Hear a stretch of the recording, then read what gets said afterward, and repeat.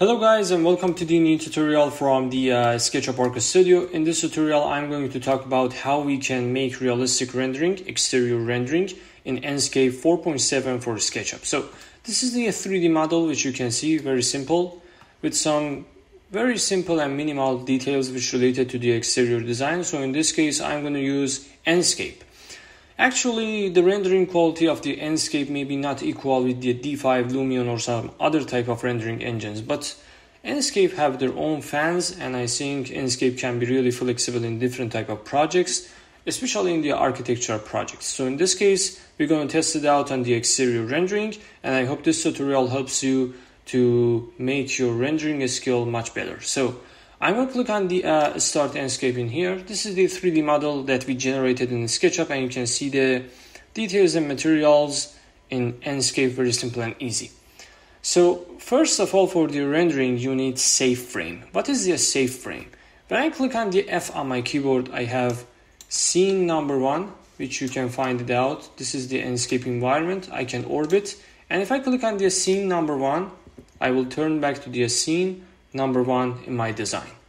First of all, we need safe frame. Right now, I can render this image, but I prefer to not render it because when you turn on the safe frame, now you have your own camera lens, which you can test it out in different type of aspects.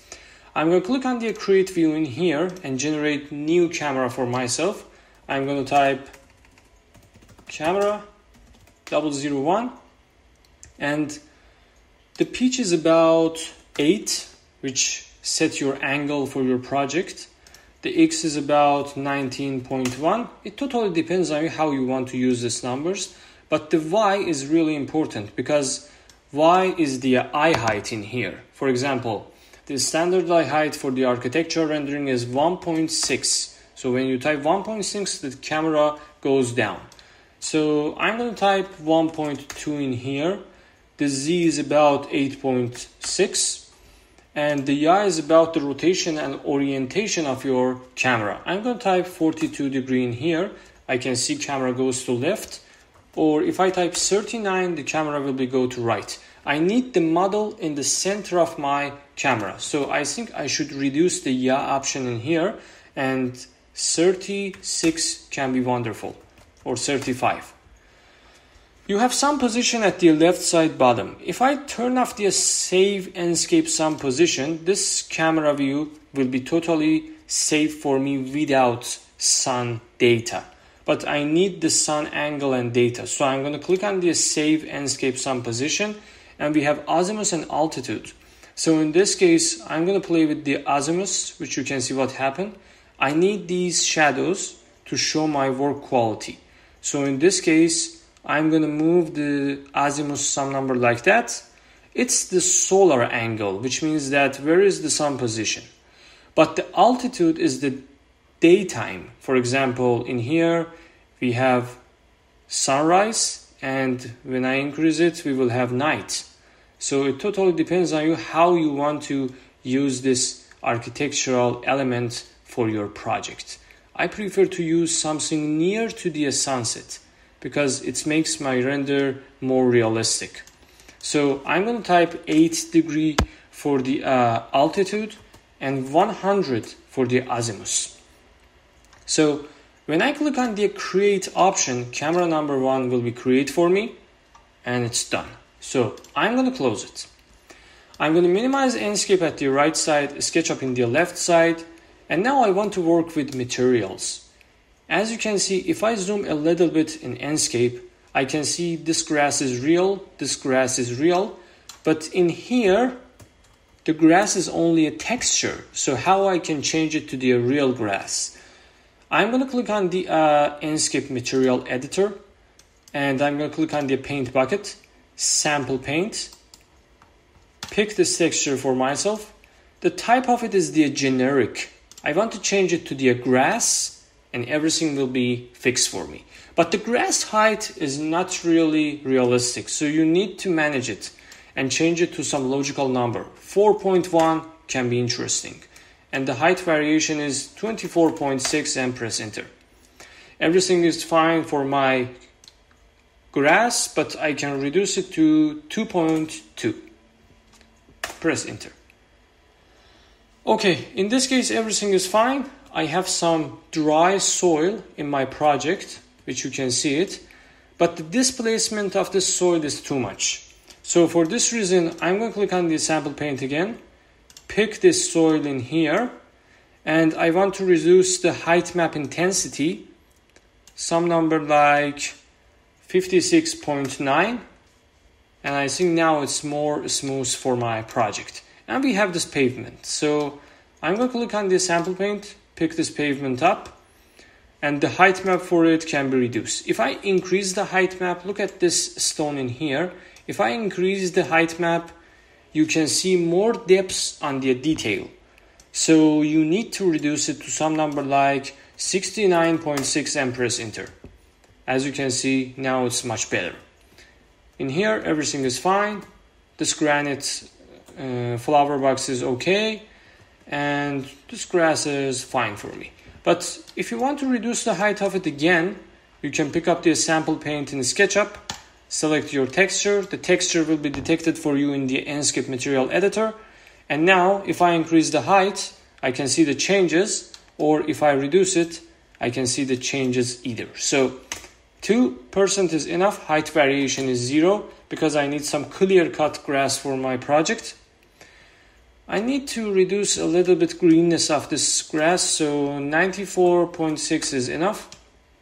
I'm going to close it, click on the camera number 1 and it will be selected for me like that. Even in the SketchUp, the sun setting will be affected by the Enscape rendering engine setup. So I'm going to click on the sample paint and finalize my last material. In here, we have some type of iron console for our project. I'm going to pick it up, click on the Enscape material editor. It will be detected for me. So uh, I'm going to reduce the roughness. Look at the iron in the Enscape environment. If I zoom on it, you can see more reflection.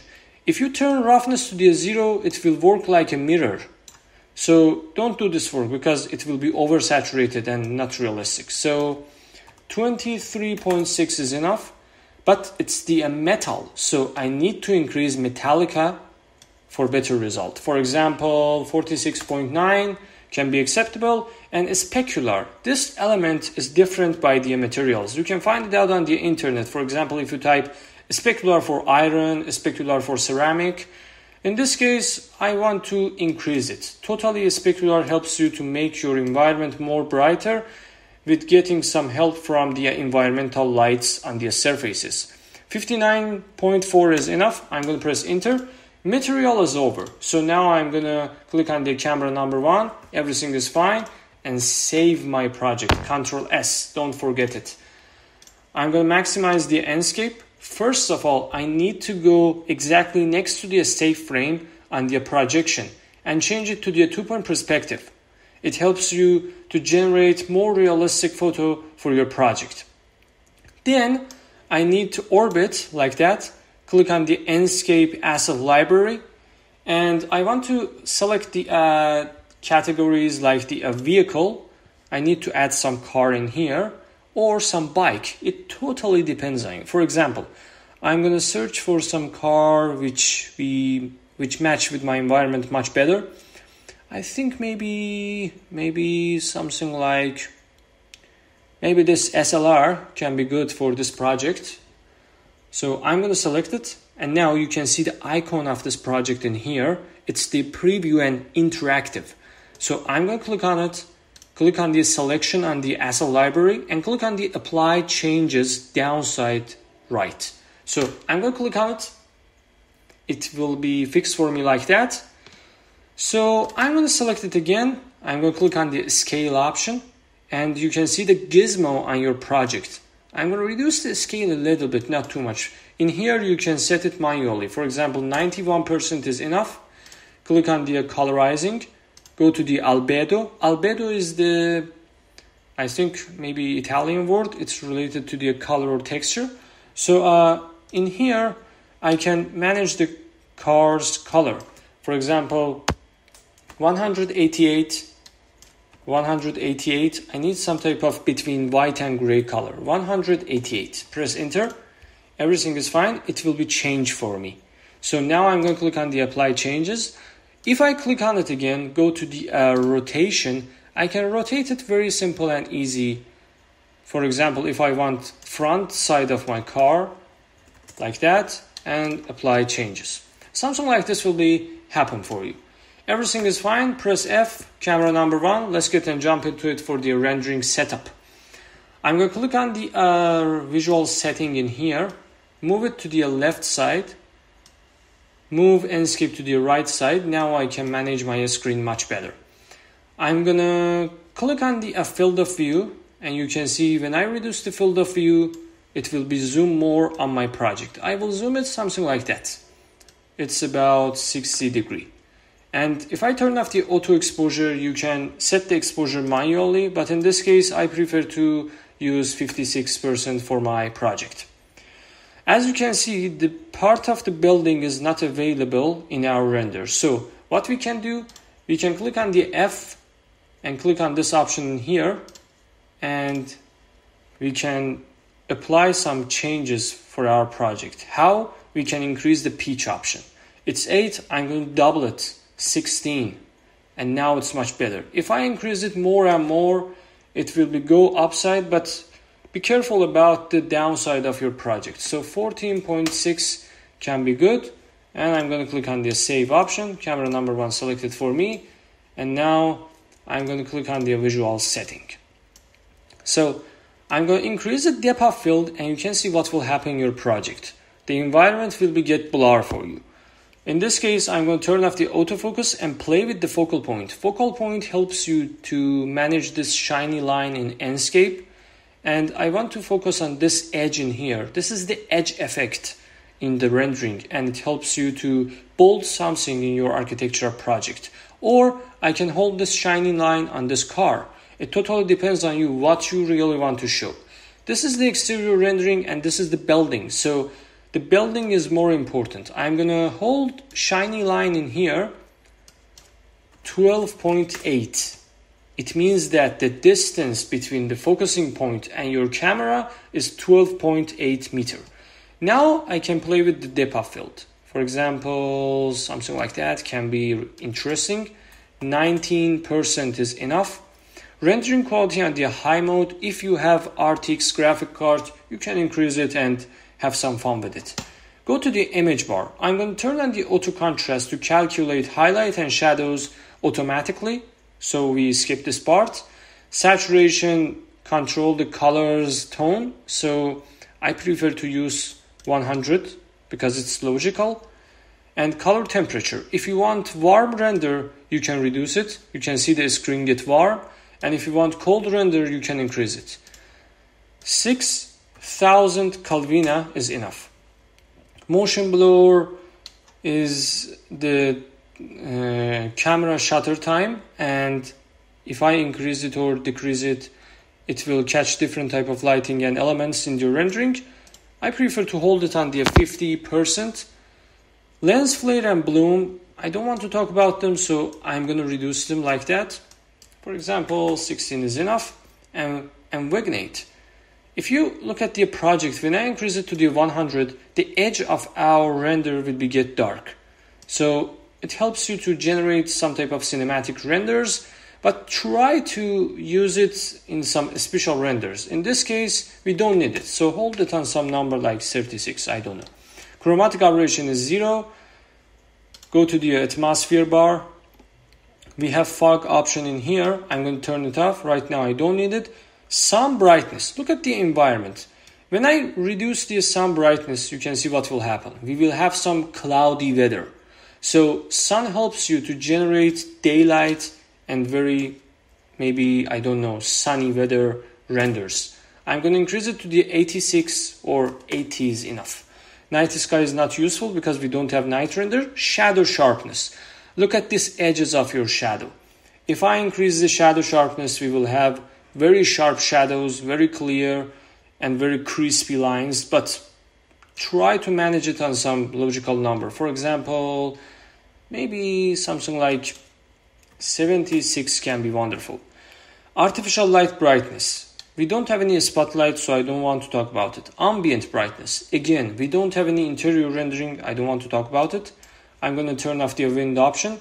Go to the skybox. Alright, we have horizon line. You can see the background. It's empty.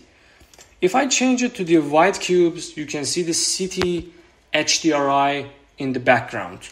And when you play with the rotation, you can change the white cubes in here, white cubes place. But if you pay attention, when you use rotation, the sun power will be affected by them. So try to manage them. For example, 62 is enough.